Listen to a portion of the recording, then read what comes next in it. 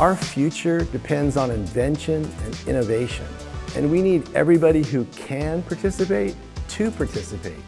We need all genders, we need all economic levels. A lot of the problems that our world faces, some part of the solution uh, is inside of STEM.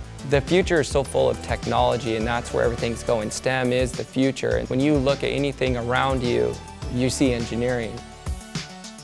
Team is committed to engineering education, and as part of that initiative, we've created Upverter Education. Our goal at Upverter Education is to support the next generation of electronics designers by giving high school students free access to curriculum around electronics design and also free access to a PCB design tool called Upverter, which is collaborative, browser-based, and very easy to use.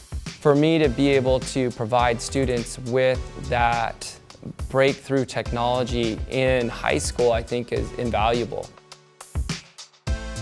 I really think the Upverter education courses themselves have been what's benefited me the most. The tool's intuitive, it's easy to use, but the actual education courses teaching you how the heck you use the tool and how you actually design a circuit is really what's made it the most interesting. The curriculum was set up to allow a teacher to use it right away in a classroom. So I didn't have to worry about lesson plans, organizing PowerPoints, putting all the curriculum together, it was already done. We designed our courses with the thought in mind that you could assign the entire course, which would take you about six weeks, or educators can grab various units like PCB layouts, circuits and schematics, and use that as a supplement for their current curriculum. Which is why I think it's been adopted so quickly and so broadly. We launched September 1st, 2020. We're already in 42 countries.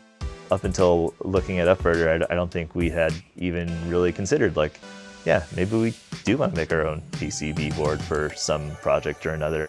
One of the other really exciting things about Upverter Education and Upverter is that we're seeing an amazing amount of different applications, real world applications.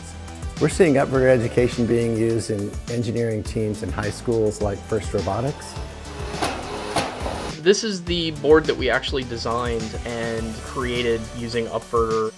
We've got a few teams creating boards that will go in CubeSats. So we'll have Upverter uh, printed circuit boards going to space. We're not only getting support from educators and schools, we're also getting support from the industry. We are implementing Upverter into Google Classroom. We're also partnered with FIRST Robotics. They were so impressed that they wanted every team to have the opportunity to use our program.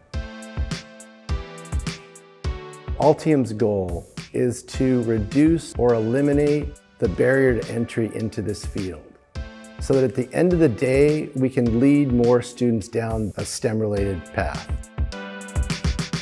You can't have a passion about something if you don't know it exists.